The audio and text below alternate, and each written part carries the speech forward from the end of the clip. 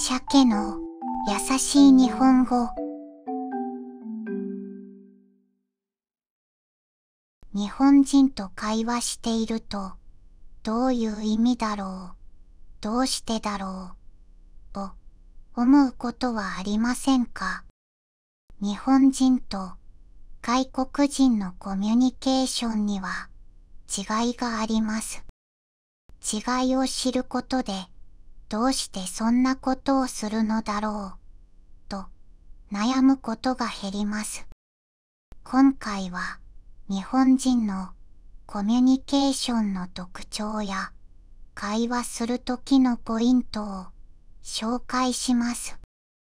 まずは日本人のコミュニケーションの特徴を紹介します。曖昧な表現を好む。日本人は曖昧な表現を使うことが多いです。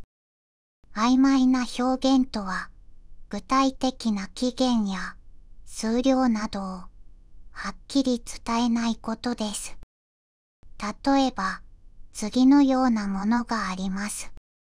早めに終わらせてください。多めに準備してください。早めというのはどのくらい早めなのか、多めはどのくらいなのかは人によって違います。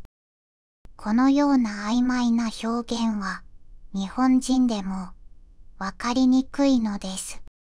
はっきり断らない。日本人は相手を傷つけないようにはっきりと断らないことが多いです。例えば、次のような言葉は、断りたい時に使われます。行けたら、行きます。機会があれば、お願いします。行くのか、行かないのか、はっきりしません。機会があれば、と言いますが、その機会はないかもしれません。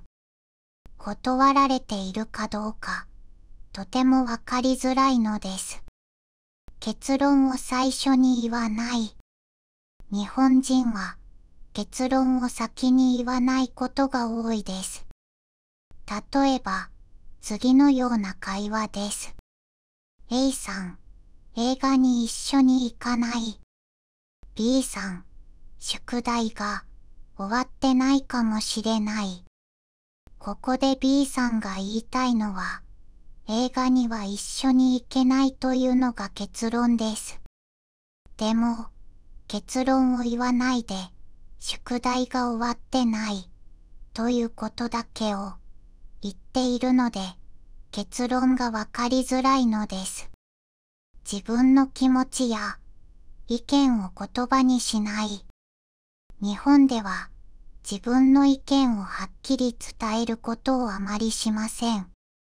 本当の思いや気持ちはあっても、それをはっきり言わず、相手が自分の気持ちや考えを分かってくれる、と思っています。日本人と、どう、コミュニケーションをとったらいいのでしょうか。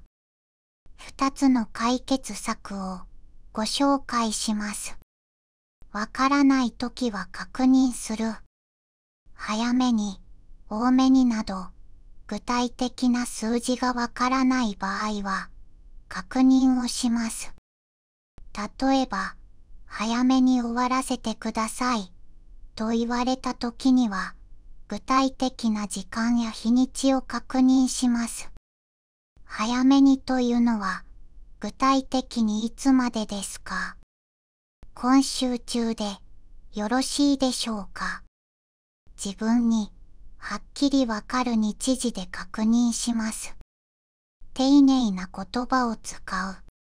初めて会う人や年上の人、上司には丁寧な言葉を使います。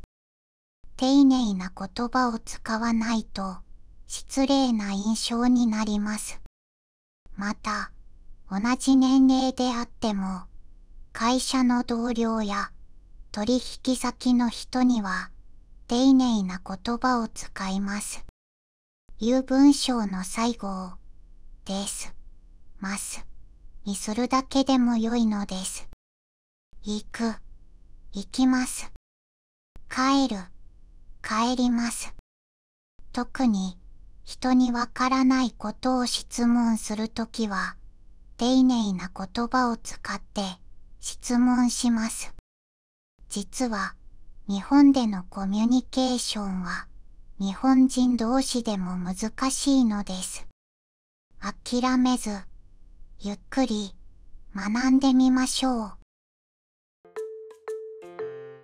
チャンネル登録よろしくお願いします。